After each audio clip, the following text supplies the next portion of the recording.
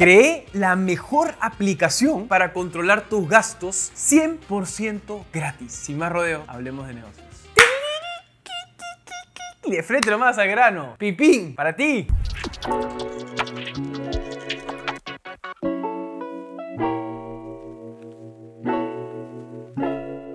Siempre he estado buscando una aplicación para poder registrar mis gastos en el día a día. Es un tema organizarse financieramente. Uno llega al fin de mes y dice, ¿en qué se fue mi plata? He gastado tal vaina en mi tarjeta, efectivo, en tal banco, en tal otro lado, y uno nunca sabe dónde va su plata. Entonces, como bien dirían un buen consultor, un consejero de negocios, es lo que no se mide, no mejora y no me voy a cansar de decirlo. Si tú mides en qué estás gastando tu plata, si tú tienes un presupuesto de qué quieres gastar en el mes, en la semana, en los tres meses, vas a ser mucho más efectivo con el ahorro. Y para eso yo estaba buscando herramientas. La primera herramienta básica que intenté era tener un cuadernito con mi lápiz y apuntaba. Llegaba a mi casa todas las noches, ponía gasto tal, gasto tal, gasto tal gasto tal. Pero obviamente nuestra memoria es frágil, no podemos tener sí un papelito y un cuadernito para apuntar. Por otro lado, me bajé varias aplicaciones. Tú me preguntas por alguna aplicación, he probado todas las aplicaciones, me las he descargado y era la misma tanda. Venía, registraba el gasto manualmente, ponía el monto y así sucesivamente. En Latinoamérica no hay o es muy raro encontrar una aplicación que esté conectada con los bancos en tu país. Es muy difícil porque los bancos, a diferencia de bancos europeos o bancos estadounidenses, abren sus APIs, se le dice, o abren sus puentes de conexión con otras aplicaciones o emprendimientos para que puedan, cuando tú haces un gasto con tu tarjeta, traquees exactamente en dónde se está yendo el dinero. Aquí es muy difícil. Entonces, lamentablemente tenemos que poner manualmente el gasto uno a uno y poner la categoría y poner la otra. Otra forma en que puedes organizar tus finanzas, y esto es creo que la mayoría de gente que ha organizado sus finanzas personales o cómo organiza sus finanzas personales, es con un Excel. Tienen una plantilla, un presupuesto, ponen ahí sus gastos del mes, gastos fijos, gastos variables, y van viendo cuánto les queda y van controlando una vez a la semana, van actualizando ese Excel. He tratado de crear una aplicación en donde extraiga lo mejor de los mundos, de los distintos mundos. Una plataforma que tenga poca fricción al momento de registrar gastos, lo mínimo indispensable de para que tú registres gastos fácil. Una aplicación que, perdónenme la ilusión, pero no es una aplicación, sino que es una forma más fácil de poder registrar el gasto todavía, que es WhatsApp, y que al mismo tiempo tenga un visualizador de tu presupuesto, de cuánto puedes gastar en el día, de en qué categorías estás gastando más menos, con unas gráficas muy bonitas para que tú las veas siempre y puedas consultar y ver y medir en qué estás gastando tu plata. Muy bien, esta aplicación se llama Codito. Codito es un spin-off de Cambista. Cambista, como saben, es mi empresa. Tengo una casa de cambio digital donde cambio dólares y soles. Es la primera del Perú y hemos venido creciendo. Ya somos más de 40 personas. Ya tenemos 7 años en el mercado y seguimos apuntando a sacar nuevos servicios financieros. Nuestra meta es ser un banco sin ser un banco. Entonces, la segunda aplicación que iba más con nosotros era entrar en la industria de wealth management o el manejo saludable de nuestras finanzas personales, de nuestra riqueza. Y esa plataforma es Codito. Codito con una marca propia, con una funcionalidad propia. ¿Cómo funciona? Es muy sencillo. Simplemente vas a entrar a los links que te voy a dejar eh, aquí en el canal de YouTube. 100% gratis, no te voy a vender nada. Tranquilo, solamente te invito a que lo pruebes, lo uses y todo lo demás. Lo demás, sácale provecho. La idea, nuestro propósito es mejorar y empoderar a las personas con sus finanzas para que sean cada vez más libres. Así que estamos alineados con eso. Entras a la plataforma, te registras, pasas tu correo, tu número de celular y datos básicos. Y la plataforma te va a pedir que valides un código con que te va a llegar a tu WhatsApp de cuatro dígitos. Validas ese código e inmediatamente ya puedes empezar a hablar por WhatsApp con Codito. ¿Cómo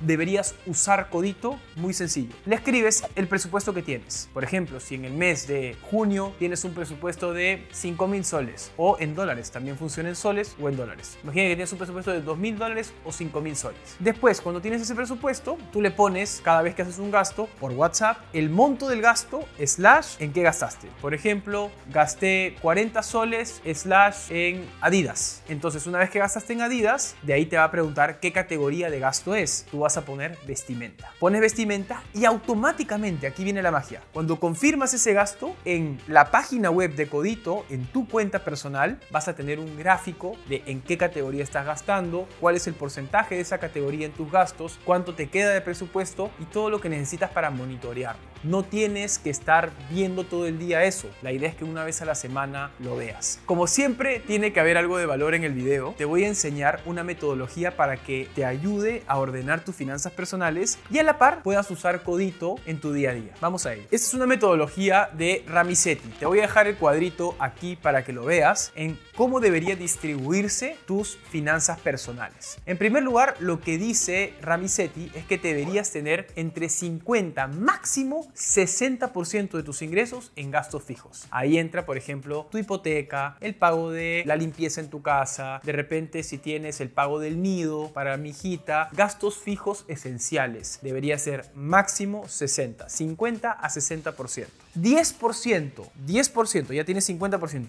10% deberías destinarlo a invertir, a que tu dinero trabaje para ti mismo. Siempre, todo lo que te ingresa. Es más, lo primero que deberías hacer es destinar 10% mínimo a inversión, a que ese dinero trabaje para ti y al final, ese dinero al final te pueda cubrir, o sea, los activos suficientes para cubrir tu gasto diario. Al comienzo va a ser poquito, pero la idea es que la acumulación haga lo suyo, el famoso interés compuesto. El otro 10% lo que te aconsejo hacer es tener un fondo de emergencia slash ahorro. ¿Cuál es la diferencia de la inversión? El tema del fondo de emergencia es justamente tener plata líquida para que tú la puedas usar en cualquier, vale la redundancia, caso de emergencia. Algún tema de salud, te chocaste con el carro, de repente era un fondo de ahorro para un viajecito que tenías planeado, pago de la matrícula del el colegio, la universidad de tu hijo, hija, etc. Tienes un fondo de emergencia para poder destinarlo a eso. Eso es el otro 10%. ¿Cuánto te queda? 50 más 10 más 10 te queda más o menos 30%, dependiendo de cómo muevas esto de acá, y sé flexible, no pasa nada, entre 30 a 20%.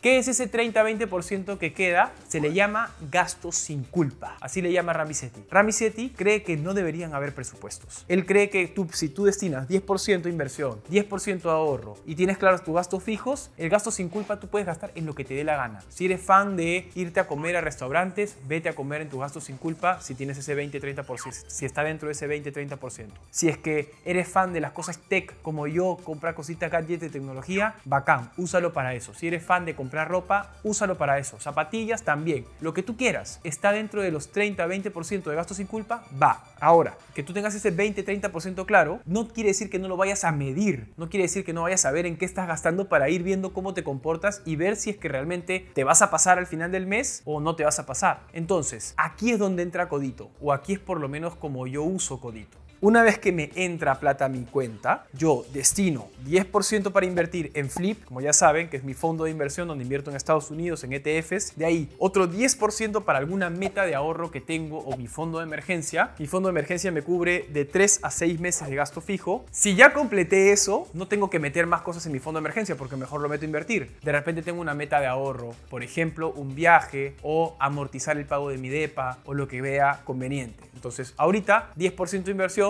10% a ahorro para pagar, amortizar mi DEPA y de ahí 50-60% pago de mis gastos fijos, me quedo con 30% ese 30% lo meto a Codito como presupuesto. Les digo, Codito, ¿cómo estás? Presupuesto, tengo, pongamos, 3 mil soles. Ese es mi gasto sin culpa. Puedo tirarme esa plata en la que quiera, pero tengo que ver en qué me la estoy gastando para ir controlando. Entonces, 3 mil soles, ok, los, los rapi que pido, los restaurantes, eh, la vestimenta, me fui a comprar, este, no sé, unas tabas de, para correr, eh, lo que quiera, lo que quiera. Gasto en lo que sea ahí, pero lo controlo. ¿Por qué hago esto? Porque el 20% de las categorías que más gasto equivalen al 80% de tus gastos más fuertes. Es decir, si yo tengo, por ejemplo, como les dije, me encantan los gadgets de tecnología y me encanta, por ejemplo, comprar ropa, eh, vestimenta y tecnología, esos son mis gastos o las categorías que gastan el 80% de todo mi gasto sin culpa.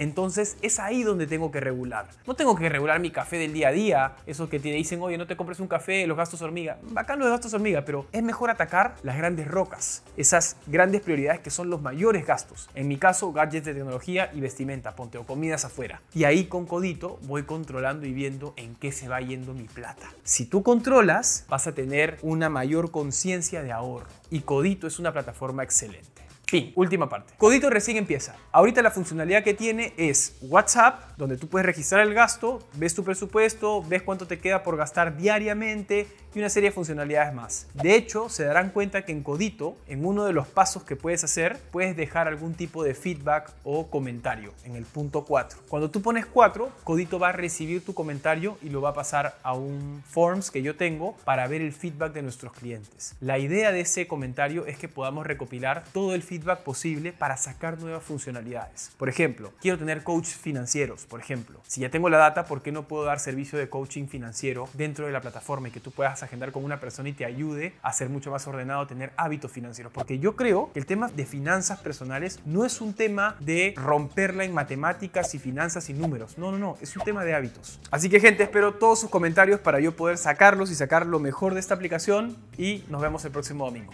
Cuídense mucho.